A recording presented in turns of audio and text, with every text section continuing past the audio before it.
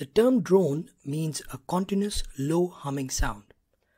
Now, this might not be the best way to represent these unmanned aerial vehicles, but still it's the most commonly used term. Drones have gained a lot of popularity over the past few years as the technology has advanced and the motors have become cheaper. This has allowed the drones to be used in much more commercial sectors such as photography, filmmaking, surveillance, and even delivery systems. In spite this, drones have a long way ahead. So learning how to program a drone to perform different tasks is becoming an increasingly popular skill. Drones come in different shapes and sizes. A popular term you might have heard for a drone is quadcopter. This refers to a drone with four propellers or motors. Similarly, a hexacopter has six propellers and a octocopter has eight propellers.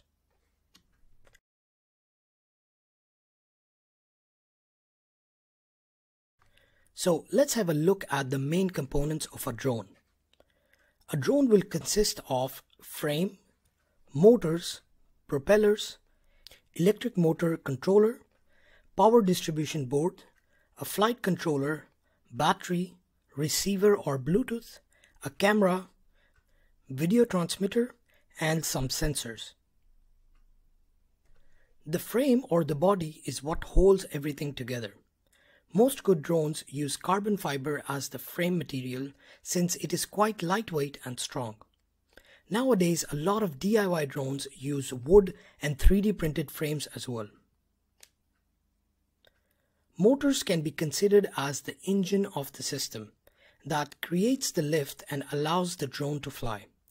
There are two main types of motors used in a drone, brushed and brushless. Brushed motors are simple and cheap, whereas brushless motors are expensive but have a better weight to power ratio.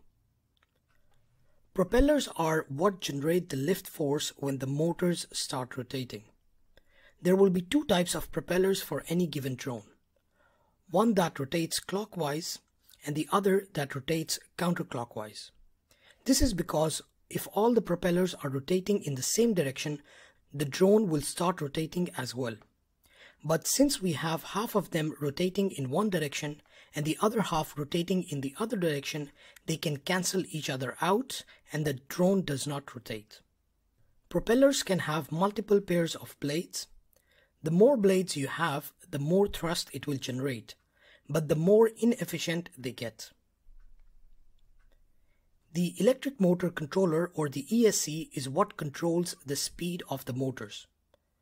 They convert the DC signal from the battery to AC signal for the motor. You can have separate ESC for each motor or a single board with multiple ESCs on it. Power distribution boards allow battery to power all the components including the motors and the flight controller. The flight controller is the brain of the system and it decides what should be the speed of the motors based on the input received from the sensors and the receiver. The battery will power all the components of the drone. This has to be light and efficient at the same time to allow maximum flight time. The receiver or the Bluetooth allows transmission of the signals between the remote and the drone. Most of the times we will also have a camera attached to the drone along with either an SD card storage or antennas for wireless video transmission. Now to transmit video we need video transmitter. This device is responsible for the transmission of video through the antenna to your cell phone or the FPV remote. There are multiple sensors attached to a drone. For example, the pressure sensor measures the altitude or the distance between the ground and the drone. The GPS locates the position of the drone, whereas an IMU measures the acceleration and the angles at which the drone is.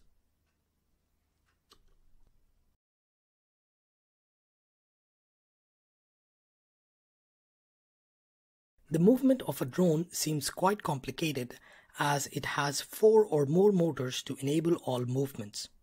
But in reality, it's quite simple and intuitive. The drone can move with 4 degrees of freedom, which means it can translate in 3 directions and rotate in 1.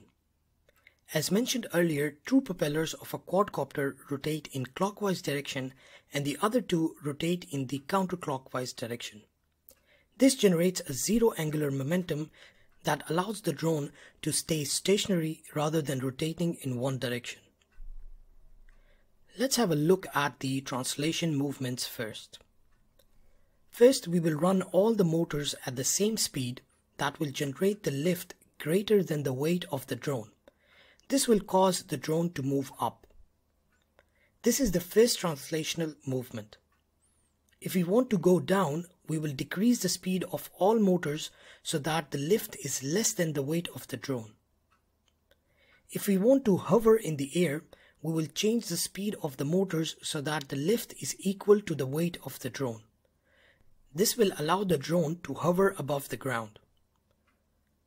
Now coming to the second translation, if we want to move left, we will reduce the speed of the left motors and increase the speed of the right motors. To move towards the right, we will decrease the speed of the right motors and increase the speed of the left motors. Similarly, we can translate in the third direction which is moving forwards and backwards. By decreasing the speed of the front motors, and increasing the speed of the back motors, the drone will move forward. For moving backwards, we can decrease the speed of the back motors and increase the speed of the front motors. Since two motors are rotating in clockwise and the other two are rotating in counterclockwise direction, we can use this knowledge to rotate our drone. To rotate the drone clockwise, we will decrease the speed of the motors moving clockwise and increase the speed of the motors moving counterclockwise. Similarly, if we want to rotate counterclockwise, we will decrease the speed of the counterclockwise motors and increase the speed of the clockwise motors.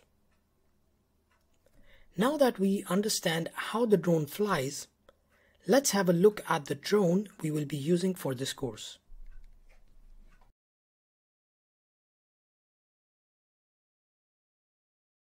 The drone that we will be using for this course is the Tello drone. Now this drone is recommended to be used with this course but that does not mean that you cannot apply the same techniques to other drones. In fact 80% of this course is applicable to any drone and only 20% is specific to the Tello drone. The Tello drone is produced by the company Ryze and it contains DJI and Intel technologies for flight control.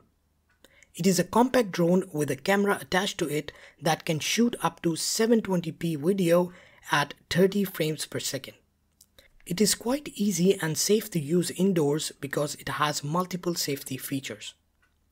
Now this video is not sponsored by any of the companies including Ryze, DJI or Intel and this is my honest opinion that Tello is one of the best drones to get started with if you want to learn programming of drones.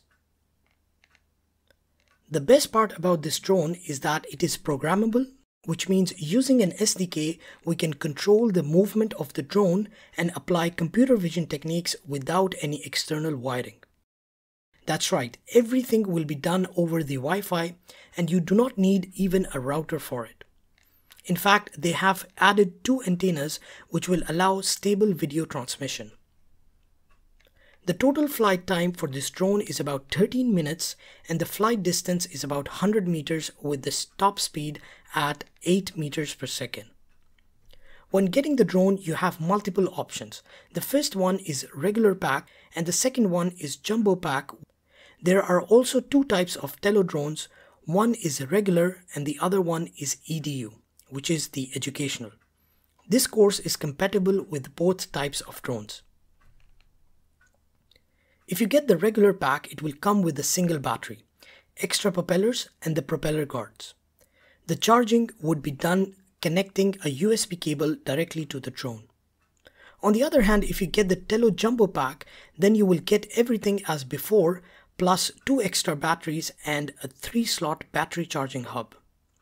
The Jumbo Pack is much better for programming because with three batteries you can do a lot more testing and while you are using one battery, you can charge the other one so that you do not have any delays.